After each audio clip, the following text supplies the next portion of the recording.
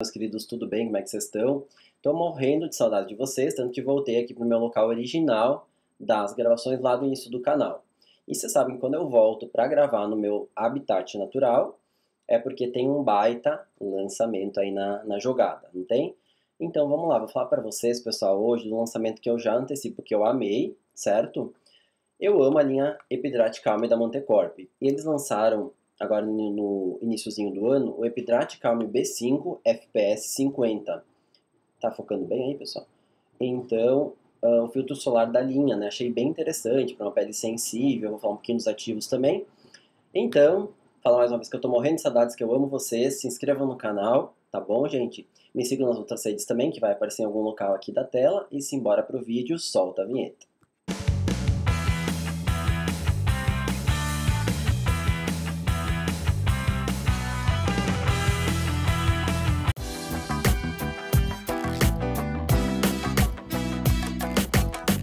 Meu coração, para quem quer indicado esse filtro solar aqui. Se a gente for focar mesmo no que, que, a, que, que a Mantecorp, aliás, foca, tá? Sem conflito de interesse com a marca, ok? Não estou recebendo nada para falar do produto, mas gostaria de estar recebendo, então estou aberto a negociações, certo? Marcas de modo geral. Bom, a marca, brincadeiras à parte, foca numa pele sensível e numa pele mais ressecada, tá? Se bem que ele não é pegajoso não, esse filtro solar aqui, tá? E tem um cheiro super, super bom, já estou me antecipando aqui. Então, se eu quiser seguir a, a risca, né? Então, seria uma pele sensível, sensibilizada, tipo um pós-procedimento vai muito bem. E uma pele mais ressecada, tá? Uma pele mais seca, então. Aquele questionamento, né? Que é assim, doutor, tá, entendi, né? A linha praticamente é toda voltada para pele sensível, mas eu que não tenho a pele sensível posso utilizar também? Com certeza, claro, acho que é até um ótimo filtro solar para o dia a dia. Tá, gente? Então, assim, quem não tem a pele sensível, quem tem a pele normal, enfim, também pode utilizar, não tem problema algum, desde que ela seja um pouco mais para seca, tá? Normal para seca, acho que vai muito legal. Pele mista também, eles mandaram bem na cosmética para variar, assim, foram bem legais.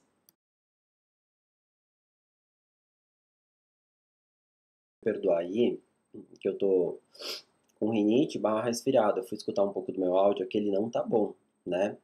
Vou tentar falar mais devagar, mas não é nem pela questão de falar devagar ou rápido, é pela questão que a voz não está saindo direito, né? Mas enfim, vamos lá. Quais são então os ativos deste protetor solar, ou desse filtro solar? Então ele é minimalista, não tem muitos ativos e nem precisa, acho que quanto mais ativos tem, mais chance de dar alergia. E se a gente pensa num produto para pele super sensível, o que, que eu já penso? Epa, não vai ter muitos ativos e realmente é bem isso que esse produto aqui propõe. Então eles têm um ativo que eu acho que é a patente da marca, da, da, eu da Ipera, da Montecorp, chamado Sense-C, tá? que é um ativo calmante. Eu acho que a patente Sembia me ajuda, se está vendo o vídeo, por favor comente, mas acho que é a patente, né? E os outros dois ativos, então, também são calmantes, que é a lantoína, que é bem calmante, eu adoro a lantoína quando vou manipular algum produto, tá? Porque ela acaba acalmando a nossa pele, então coloca um retinol, alguma coisa assim, coloca a lantoína junto, eu vou ter um efeito benéfico daquele ácido, mas não vou ter a irritação, tá? Isso é só um parênteses. Então tem a lantoína, aquele complexo C e também tem o D-pantenol para dar uma hidratada boa aí na pele. O pantenol, pessoal, para quem não sabe, é a vitamina B5, tão famosa aí, que tem vários separadores de barreira cutânea, certo? Os ativos, então, a Montecorp também apostou nos ácidos hialurônicos, tanto de alto peso molecular quanto de baixo peso molecular. Quem me acompanha aqui no casal, no casal é sensacional. No canal, pessoal, é tarde que estou gravando, é meia-noite agora. Uh, vai amanhã ao ar, tá? Hoje é segunda-feira. Quem me acompanha aqui no casal, então, pessoal, a gente sabe que o ácido hialurônico de alto peso molecular, onde é que ele vai ficar, pessoal? Vocês sabem sim, vão falando aí que eu não vou falar. Se ele é de alto peso molecular, ele é maior, né? Então, se eu tenho a epiderme, a derme e a hipoderme onde é que ele vai ficar quando eu passo na minha pele de alto peso molecular por ser mais grandão, por ser maiorzão. Mas na superfície da minha pele, tá, gente? Então ele vai dar uma hidratada boa aí. Já o de baixo peso molecular, ele é menorzinho. Então ele vai penetrar mais nas camadas da pele, proporcionando um efeito mais preenchedor, claro, hidratante também, mas efeito mais preenchedor e tudo mais. Vai trazer a água para ali e tudo certito, tá bom? Ainda tem também as ceramidas, né, que estão na moda, né, se fala de ceramidas, para cá, para lá, também tem aí para agradar todo mundo, tem as ceramidas da composição. Para mim não muda muito ter ceramidas ou não, tá? Mas enfim, tem ali. Para mim, pessoal, qual que foi o pulo do gato que, que eu amei desse filtro solar aqui? Tá, gostei da lantoína, gostei. Gostei lá do, do pantenol, beleza. Mas o que eu amei, é que eu vou falar agora, tem prebiótico ou pré-biótico, tá? Porque hoje em dia só se fala no que, gente? Naquilo, naquilo que? Olha, que vocês vão pensar.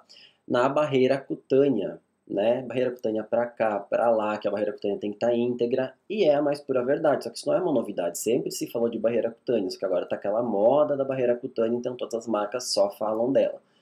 Então, sim, nossa barreira cutânea ela é assim, estrutura lamelar, já tem vídeo disso lá atrás, inclusive. Se ela ficar rompida, se ela perde água, né, se por qualquer motivo, por um eczema, uma dermatite, uma psoríase, uma dermatite atópica, um lúpus, uh, ela vai propiciar aí a formação de várias outras doenças ou um ressecamento cutâneo intenso, né? Então a barreira da pele tem que estar fechadinha, entre aspas, tá? Se ela ficar aberta, ela vai perder água, ela não vai conseguir reter água, nem nada disso.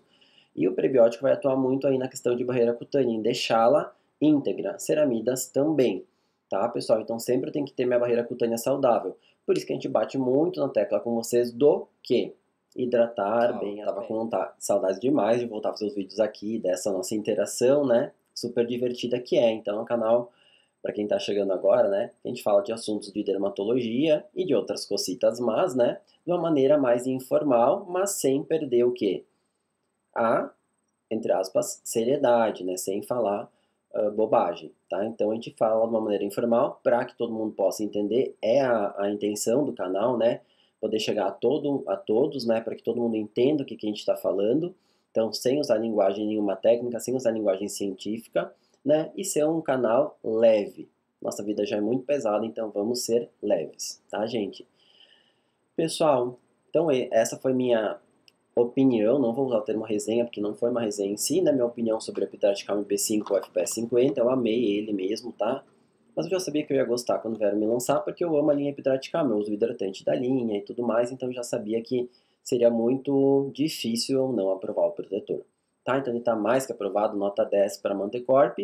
E pessoal, até o próximo vídeo. Um beijão no coração de todos, que Deus abençoe aí cada um e a família de vocês.